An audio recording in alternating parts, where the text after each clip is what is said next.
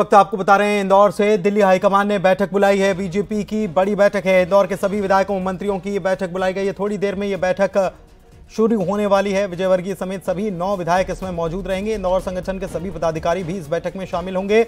Video conferencing से ये बैठक बस कुछ ही देर में शुरू होने वाली है। बेहद बड़ी खबर ये आपको बता रहे हैं। और आज अगर राजनीतिक उठापटक का बड़ा दिन कहा जाए तो गलत नहीं होगा।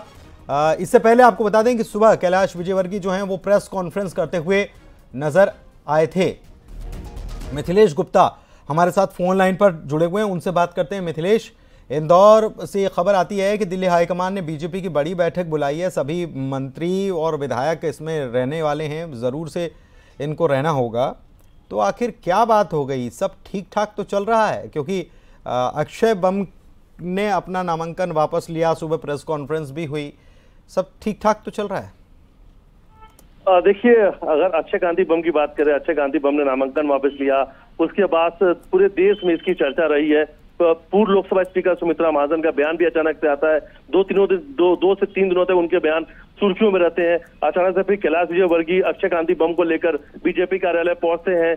जिन सवालों को तलाशा जा रहा था, जिन सवालों के जवाब तलाशे जा रहे थे, उन सवालों पे आज जवाब जो है, कैलाश विजयवर्गीय से पहले अक्षय कांति बम ने दिया। तो पिछले अगर एक सप्ताह की बात करें तो इंदौर में इंदौर को लेकर देश में चर्चा चल रही, खासतौर पर जो कुछ इंदौर में सियासी घटनाक्रम हुआ। फ़िलहाल आज की आज सुबह एक बड़ी प्रेस वार्ता की गई, लेकिन अचानक से विधानसभा एक में अभी कार्यकर्ता सम्मेलन चल रहा था।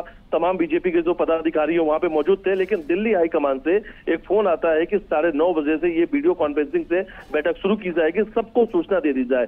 सभी विधायक मौजूद रहेंगे संगठन के पदाधिकारी मौजूद रहेंगे। इसके अलावा कोई भी वहाँ पे मौजूद नहीं रहेगा यानी जो मीडिया कोऑर्डिनेटर को जो करते हैं या जो दूसरे पदाधिकारी हैं वो नहीं रहेंगे। अपेक्षित लोग में जो कोर कमेटी के मेंबर हैं वही लोग बैठक में शामिल होंगे।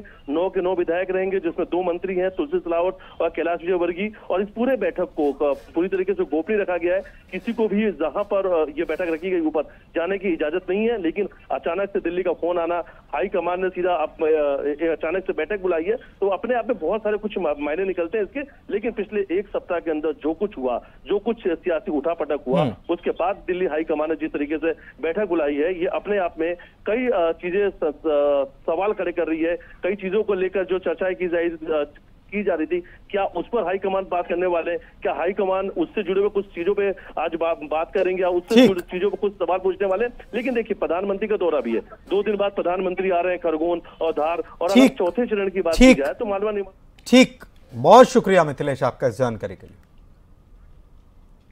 इधर बालौद की बात करेंगे जहाँ पर नीट की परीक्षा में बड़ी लापरवाही सामने आई। मेडिकल की सबसे बड़ी परीक्षा यहाँ पर हो रही थी और इसमें बहुत बड़ी लापरवाही परीक्षा के दौरान दो प्रश्न पत्र दे दिए गए। पहले प्रश्न पत्र को छात्रों ने एक घंटे सॉल्व किया और एक घंटा बीता, उसके बाद दूसरा प्रश्न पत्र दे दिया गया।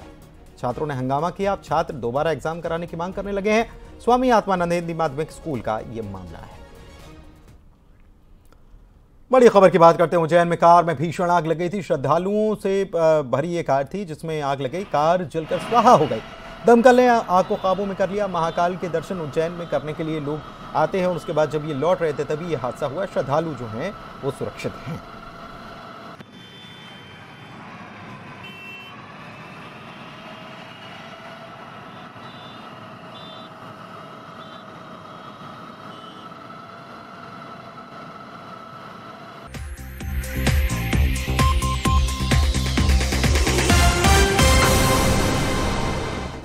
प्रवक्ता राधिका खेड़ा की सबसे पहले करेंगे बात, जिन्होंने आज एक बड़ा बम फोड़ दिया, कांग्रेस को छोड़ दिया। सुशील आनंद शुक्ल से विवाद के बाद इस्तीफा तो दिया, लेकिन यह सुशील आनंद शुक्ल का, से उनका जो विवाद हुआ, उस विवाद से ज़्यादा उनका राम मंदिर पर अपने इस्तीफे के पत्र में ज़िक्र रहा। खड़गे को लिखे पत्र में राधिका खेड़ा का आरोप है कि कांग्रेस में राम नाम लेने वालों का विरोध किया जाता है। कांग्रेस में धर्म का साथ देने वालों का विरोध किया जाता है। कांग्रेस में मुझे न्याय नहीं मिला। और यह भी कि कांग्रेस में मुझे न्याय नहीं मिलेगा यह कह दिया गया। कल बहुत बड़े खुलासे करूँगी, ये राधिका खेड़ा कह रही हैं। प्रेस कॉन्फ्रेंस करने की बात उन्होंने कह डाली कि मैं प्रेस कॉन्फ्रेंस करूँगी और उसमें बड़े खुलासे करूँगी, ये भी उन्होंने कहा है। तो बहुत सारे खुलासे करने हैं, ये भी सोच रखा है राधिका खेड़ा ने, लेकिन राधिका खेड़ा से विवाद को लेकर कांग्रेस संचार प्रमुख सुशील आनंद शुक्ल का पक्ष जानना भी ज़रूरी है। वो कह रहे हैं कि राधिका मेरी छोटी बहन है, वो पार्टी में रहें या बाहर जाएँ, वही सम्मान रहेगा, उनका खत सारा मजमून कह रहा है, मैं भी राम और शिव का भक्त हूँ। तीसरे चरण के चुनाव को लेकर कुछ ही समय बचा हुआ है गिनती के घंटे बचे हुए हैं और ऐसे में कांग्रेस की जो राष्ट्रीय प्रवक्ता है राधिका खेड़ा, उन्होंने इस्तीफा दे दिया है। और कांग्रेस पार्टी के भीतर अगर हम बात करें तो संचार विभाग और राधिका खेड़ा के बीच में विवाद सामने आया था। कांग्रेस संचार विभाग प्रमुख सुशील आनंद शुक्ला हमारे साथ मौजूद हैं, उनसे बात करते हैं। सर, राधिका खेड़ा ने इस्तीफा दे दिया। दो दिन पहले ही गुरदीप सप्पल आए हुए थे, आप दोनों से बातचीत हुई थी, बयान दर्ज कराए गए थे। अब मुझे जो बताना था मैंने प्रदेश अध्यक्ष जी को बता दिया है। माननीय राष्ट्रीय नेतृत्व ने जो वहाँ जाँच करवाया था मैंने अपनी बात रख दी थी। प्रत्यक्षदर्शियों ने अपनी बात रख दी थी। ऐसा कुछ भी नहीं हुआ था कि आ, इस बात को इतना ज़्यादा बढ़ाया जाए। आ, मेरे उनके बीच में एक सामान्य बहस हुई थी और डेमोक्रेसी का पॉलिटिकल संगठन का एक हिस्सा है। कोई बात उन्होंने मुझको सुपरसीड करके किया था बाईपास करके मैंने आपत्ति दर्ज कराई थी। इसमें कोई अभद्रता, अशिष्टता नहीं था। मैंने उनको हमेशा छोटी बहन के जैसे सम्मान किया था। और आज भी मैं भले वो कांग्रेस पार्टी में रहें, नहीं रहें, उनका व्यक्तिगत विषय है, लेकिन मैं उनको एक छोटी बहन के जैसे ही सम्मान देता हूँ, देता रहूँगा। मुझसे कम से कम आठ दस साल की छोटी थी। मैं उनचास साल का हूँ, उन्होंने बताया कि चालीस साल की हूँ तो मैं उनसे आठ नौ साल का बड़ा हूँ। कैमरा पर्सन नवीन के साथ ममता लांजेवा न्यूज़ एटीन छत्तीसगढ़ रायपुर बड़े खुलासे की बात हो रही है। दूसरी तरफ़ क्या कह रहे हैं सुशील आनंद? शुक्ल तो सुनी लिया, लेकिन इस वक्त दीपक बैज क्या कह रहे हैं? पीसीसी चीफ सुन। नो डाउट छत्तीसगढ़ में लंबे समय से काम कर रहे हैं। पार्टी के लिए काम किए और उन्होंने चिट्ठी भी लिखाई शायद बाईस साल से पार्टी में काम भी किए। तो निश्चित रूप से पार्टी आभारी है उनका कि लंबे समय से काम किए। लेकिन कहीं छोटे से विवाद में मैं समझता हूँ कि घर के विवाद को घर में उसको समाप्त किया जा सकता था घर में बातचीत के ज़रिए समाधान किया जा सकता था। बाकी तो उनका व्यक्तिगत निर्णय है उस पर मुझे कुछ नहीं कहना और इस वक्त सीधे राधिका खेड़ा खुद न्यूज़ 18 पर जुड़ रही हैं तो सीधे उन्हीं से बात करते हैं और उन्हीं से समझते हैं कि आखिर क्या हुआ था। राधिका जी बहुत स्वागत है आपका। अभी अभी दीपक बैद साहब की प्रेस कॉन्फ्रेंस भी आ रही थी और आप अचानक से जुड़ गई। घर का मसला था घर में हल कर लेना था वो ये कह रहे हैं। मेरी आवाज़ आ रही है जी? जी जी राधिका जी। नमस्कार आपके चैनल का बहुत बहुत धन्यवाद आप लोगों ने बहुत साथ दिया मेरी लड़ाई में। अगर आप लोग मीडिया नहीं होती तो शायद मेरी बात लोगों तक नहीं पहुँच पाती। अफसोस मेरे खुद के परिवार ने मेरा साथ नहीं दिया खुद के पार्टी वालों ने मेरा साथ नहीं दिया और खुद की पार्टी ने मेरे साथ इतनी अभद्रता की। हम्म। मैं सुन रही थी अभी दोनों के बातें चाहे वो सुशील आनंद शुक्ला हो चाहे प्रदेश के जो अध्यक्ष है उनकी बातें हो। अगर मैं परिवार होती छोटी बहन होती तो छोटी बहन को गंदी गंदी गालियाँ दी जाती हैं क्या पुनीत जी हमारे संस्कार सभ्यता भारतीय संस्कृति में छोटी बहन के साथ अभद्रता गाली गलोच उसको तीन आदमी एक कमरे में बंद कर लेते हैं हम्म। मैंने तो नहीं ऐसा किसी भी बहन के साथ व्यवहार देखा किसी भी हम्म। महिला के साथ हमारे संस्कार छत्तीसगढ़ महतारी के संस्कार तो ऐसे नहीं है और हम्म। रही बात प्रदेश अध्यक्ष जी की जो कह रहे छोटा सा विवाद है चलिए। इन हम्म। इस पार्टी की तो आदत रही है छोटा सा विवाद इनको लग रहा है छोटा सा विवाद तो जी इनके पूर्व मंत्री साहब को भी लगा था और छोटा सा बलात्कार लगा था आपको याद होगा? उसी हम्म। कांग्रेस में ऑफ़िस में बैठ के जांजगीर चापा के प्रत्याशी ने क्या कहा था? जो अभी लोकसभा चुनाव लड़ने जा रहे हैं कि एक छोटा सा बलात्कार हुआ है। उसी तरीके से आज इनके प्रदेश के मुखिया को ये छोटी सी बात लग रही है। और हम्म। वो सुशील आनंद शुक्ला जो आज कह रहे हैं कि मेरी छोटी बहन है तो छोटी बहन को तीन आदमियों के साथ कमरे में बंद कर लिया जाता है। हम्म। छोटी वो चिल्लाती रहती है और आप कुछ नहीं करते और आप ही करते हैं। आप ही हम्म। गाली देते हैं और लगातार करते आए हैं। और आज की बात नहीं है ये लगातार छह महीने से होता आया है। उस छोटी बहन को आपने इतना मजबूर कर दिया कि उसकी हालत ऐसी हो गई कि उसको अस्पताल लेकर जाना पड़ा। ये छोटी बहन होती है पता नहीं छह महीने से चल रहा था ये सब कुछ। है। बिल्कुल पिछले चुनाव से और मैं लगातार छत्तीसगढ़ की नेतृत्व से लेकर हमारी पार्टी के शीर्ष नेतृत्व ये राहुल गांधी जी से लेकर प्रियंका गांधी जी तक ये आवाज़ बार बार उठाती रही। हम्म। लेकिन मुझे अफसोस नहीं लेकिन मुद्दा तो ये कहा जा रहा है कि कोऑर्डिनेशन जो कि पवन खेड़ा का दौरा होना था उसके कोऑर्डिनेशन को लेकर बात हुई थी आप लोगों के बीच में। ये बात आई कि कोऑर्डिनेशन ठीक नहीं था। आपसे ये खबर ये भी है कि आपसे ये भी कहा गया कि भाई ये काम तो हमारा है। ये आप क्यों कर रही हैं पुनीत जी आप भी एक चैनल में काम करते हैं। अगर किसी की आप ऑफ़िस में काम करते हैं अगर किसी की कोऑर्डिनेशन को लेकर तकलीफ़ होती है तो आप क्या उसको गाली देंगे? क्या आप उसके साथ अभद्रता करेंगे? मैंने आज तक ऐसी गालियाँ नहीं सुनी जो उस आदमी के मुँह से मैंने सुनी थी। और फिर उसके बाद दो आदमी मिलके तीन टोटल आदमी मिलके क्या आप अपने ऑफ़िस में किसी लड़की को बंद कर लेंगे कमरे के अंदर? सब कुछ सामने और राधिका खेड़ा फेमिनिन कार्ड खेल रही हैं ये भी बात जा रही है कि महिला हूँ और महिला को परेशान किया गया।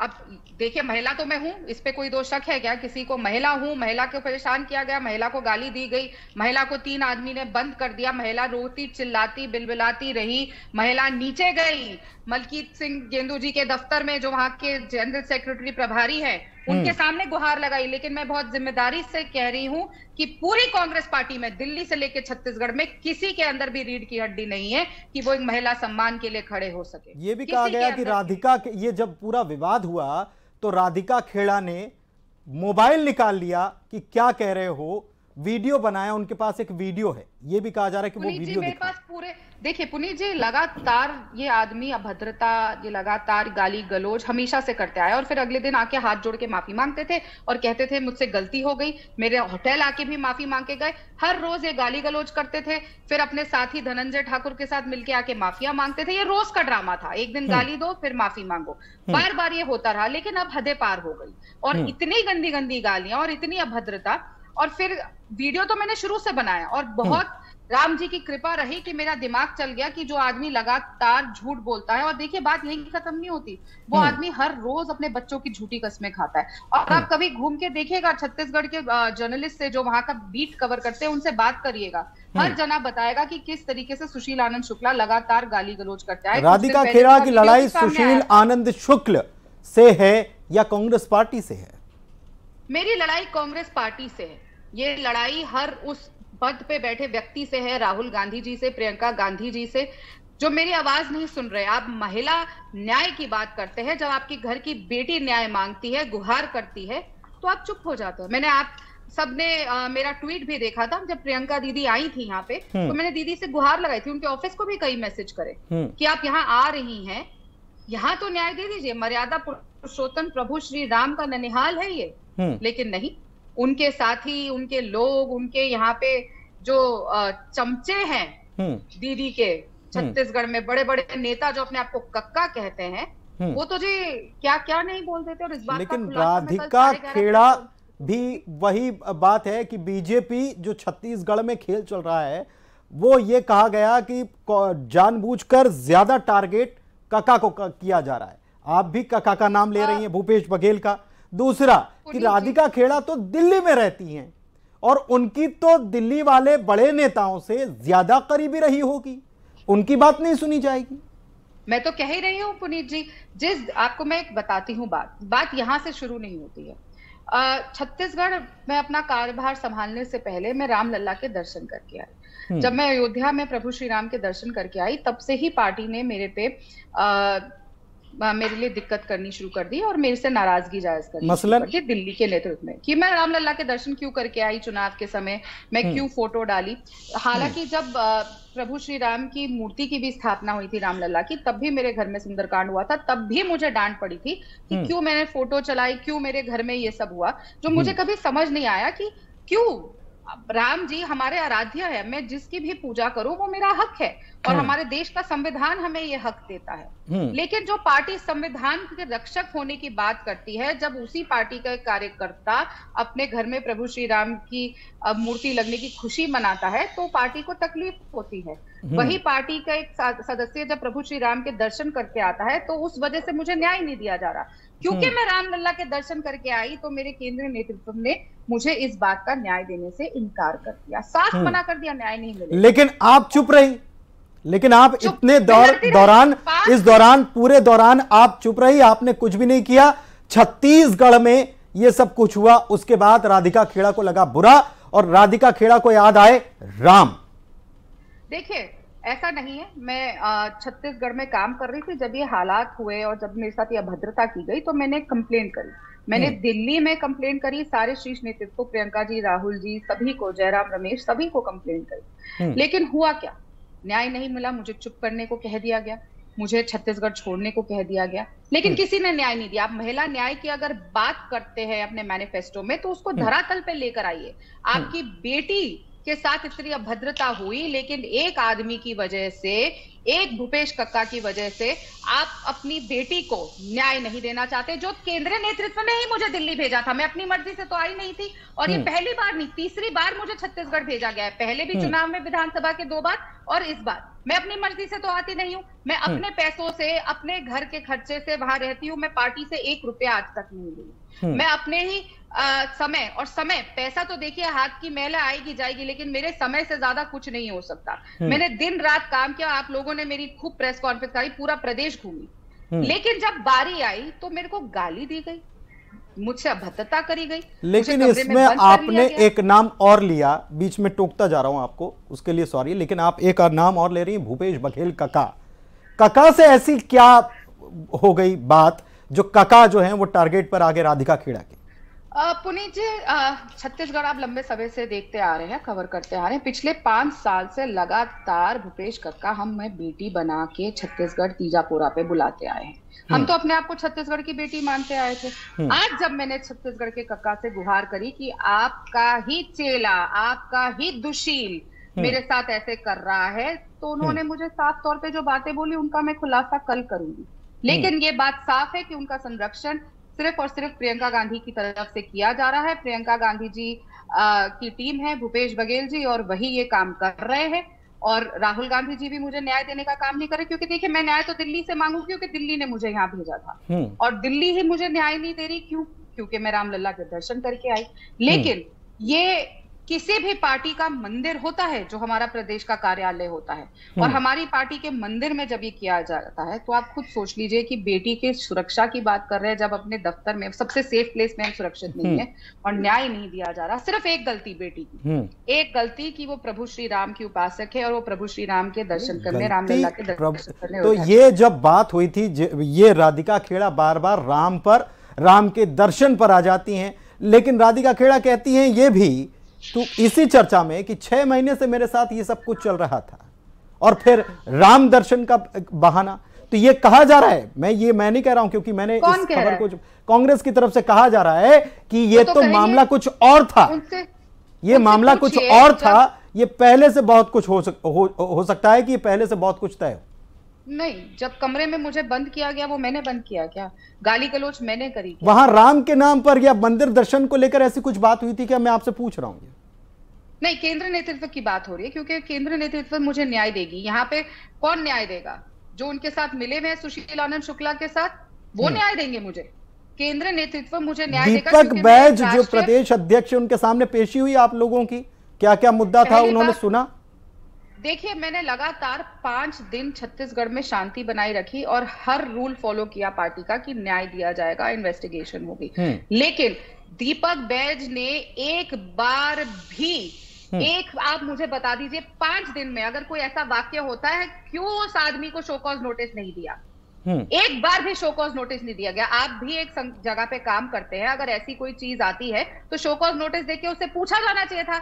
उस दुशील से पूछा जाना चाहिए था कि क्या इसमें सच्चाई है या नहीं? क्योंकि हम्म। प्रदेश के महामंत्री मलकीत सिंह गेंदू के कमरे में मैं रोती हुई भागती हुई गई और मैंने उनको वीडियो भी दिखाया कि देखिए मेरे पास वीडियो है।